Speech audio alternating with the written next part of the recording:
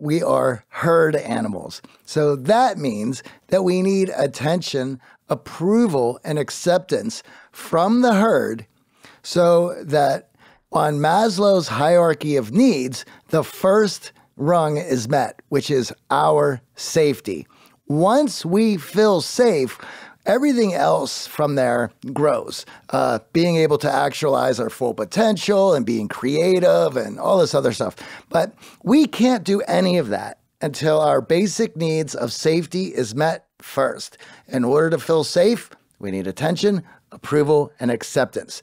Now, I'm sure there's somebody in this audience right now who's going, I don't need any of that. Well, you do because you're a human being. We all crave it. And when, once you understand that, you can use that to your benefit. You can use that to your advantage. All right.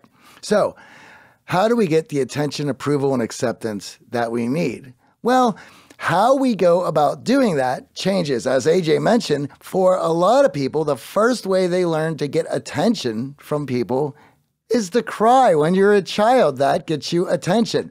And then you learn from that. And then as a child, you learn that you have this magical power that anytime that you start crying, throwing a tantrum, whatever you need to do, that you are going to get the attention that you desire. And for some of you, you've never left that first learned pattern. In fact, we can see it on social media times where people seem to post their new element every day, right? In order to get attention. It may not be the attention that you need or uh, attention that is good for you. But you have to understand that it's attention nonetheless. And that's why it is so powerful. And for some people, bad attention is as good as good attention. In fact, there is a, when it comes to entertainment, there's an old law that still very, very relevant to this day that all publicity is good publicity. So when we are in a state of crying to get attention as a kid. Some of us break it because our parents, maybe they've gone through sleep training, maybe our parents have just grown tired of the tears, will no longer respond to just you crying. So, as a child, you are still craving attention. So, you will come up with new strategies to get your parents' attention. Sometimes it's doing exceedingly well in sports, in school, with your homework. It's performance driven. And guess what? That'll often carry on into your career. Many of our successful clients are seeking that attention, that approval, and that acceptance through hard work, through grinding it out, through excelling in their career.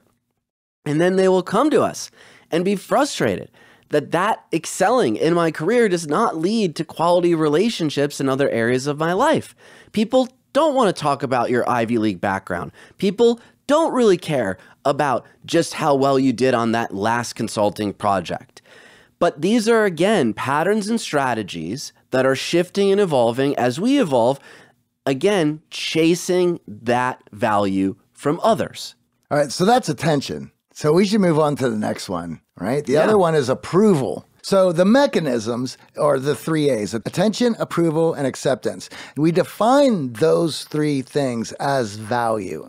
And for low value behaviors, it's how do you get that value that allows you to feel good?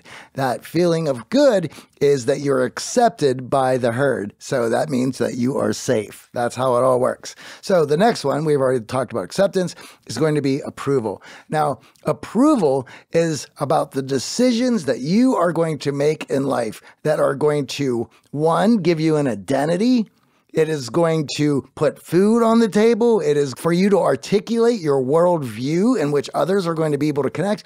All of these things put you in a place where you have to make decisions on how you want to go about it, the path that you choose.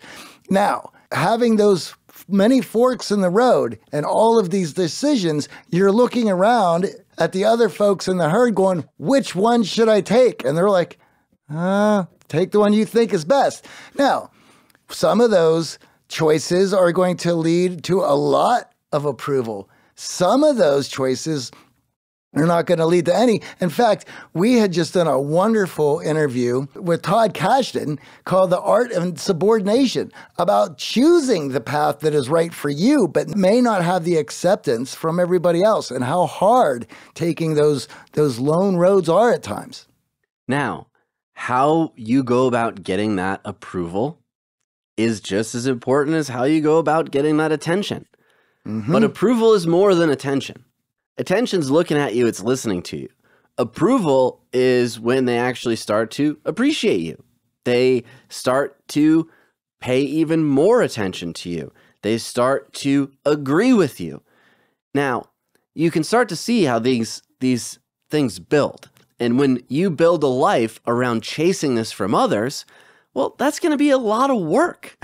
and it's also going to start attracting people who are also chasing it for the right and wrong reasons. Now, acceptance, right? The third level of this is when you actually form those bonds, those connections, those relationships. So, obviously, we have getting people to give you the thumbs up on Facebook, maybe comment on your Instagram post, get a slam the heart on your TikTok. Yeah, that's a little bit of attention, right? Mixed in with some slight approval. Now we're talking about acceptance. We're talking about inviting you on the boat trip. We're talking about going on the date with you. We're talking about welcoming you to the team, bringing you on board in the axe throwing club, being invited to the party. That is acceptance. We all crave it. Every single one of us craves it.